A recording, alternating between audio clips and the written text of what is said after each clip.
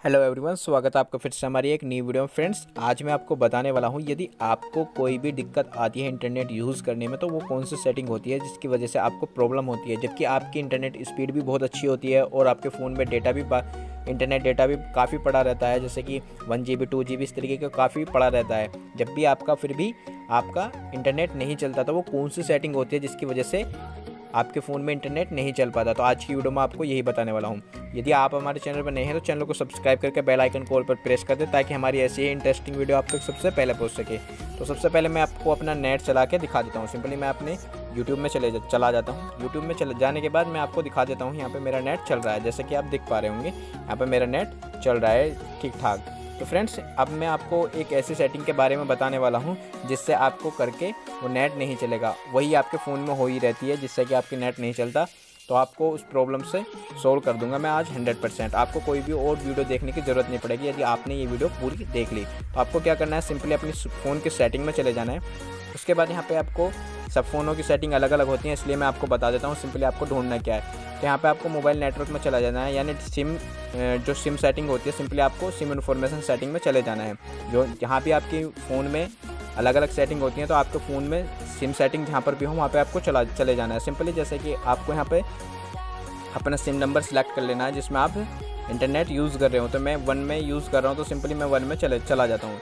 उसके बाद यहाँ पर आपको एक ऑप्शन मिल जाएगा। यहाँ पे इस तरीके के कई सारे ऑप्शन आपको दिख रहे होंगे। तो यहाँ पे आपको एक ऑप्शन मिल जाएगा एस पॉइंट नेम यानी ए पी एन सिंपली आपको अपने फ़ोन में इसको सर्च कर लेना है देन उसके बाद आपको इस पर प्रेस कर देना है।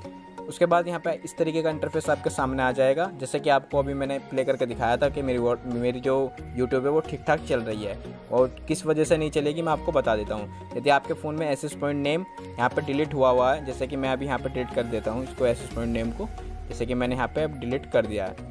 डिलीट करने के बाद फ्रेंड्स अब मेरे फ़ोन में कोई भी इंटरनेट डाटा नहीं चलेगा। जैसे इंटरनेट में इंटरनेट की स्पीड देखूँगा, देख देख सकते हैं मैं आपको यहाँ पे यूट्यूब पे लेके जाता हूँ अभी।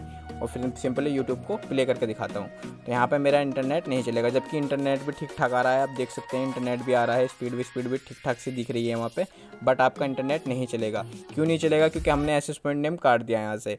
तो आपको क्या करना है? आपको उसको वापस लाने के लिए यदि आपको ये प्रॉब्लम आ रही है तो आपको कुछ नहीं करना। आपको अपने फ़ोन के जो सिम सेटिंग होती है सिंपली आपको इसमें चला, जाना है। और आप जिस सिम पे आपको जाना चाहते हैं, चलाते हैं, उस पर जाके आपको सिंपली ऐसे ऐसे पॉइंट नेम को नीचे से आपको एरो घुमा हुआ मिल जाएगा। सिंपली जहाँ पे आपको रिसेट का ऑप्शन मिला है। सिंपली आपको रिसेट कर देना है। ऐसे पॉइंट को जाके वहाँ पे रिसेट कर देना है। इस अब क्या होगा फ्रेंड्स अब आपके फ़ोन में पहले की तरह इंटरनेट दौड़ने लगेगा। यदि आपको ये प्रॉब्लम है तो इस ऐसे पॉइंट नेम को रिसेट करके वहाँ पे इस प्रॉब्लम को दूर कर सकते हैं हंड्रेड परसेंट फ्रेंड्स ये बिल्कुल जेनमेंट ट्रैक है। इसको हंड्रेड परसेंट यूज़ करके आप अपने फ़ोन में इंटरनेट डाटा यूज़ कर सकते हैं। तो फ्रेंड्स देख सकते हैं मैं यहाँ पर आप सिंपली आपको दिखा देता हूँ। देख देख सकते हैं फ्रेंड मेरी यूट्यूब अब ठीक ठाक यहाँ पे चल रही है। देख सकते हैं फ्रेंड्स यहाँ पे अब अच्छे से यहाँ पे वर्क कर रही है। जैसे कि मैं यहाँ पे एक बार आपके सामने रिफ्लेक्स करके दिखा देता हूँ।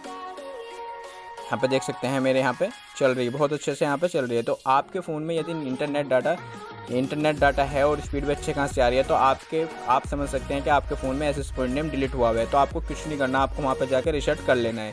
तो रिसेट करके आपको स्पीड भी है, वो भी आ जाएगी और ठीक ठाक आपका नेट भी चलने लगेगा।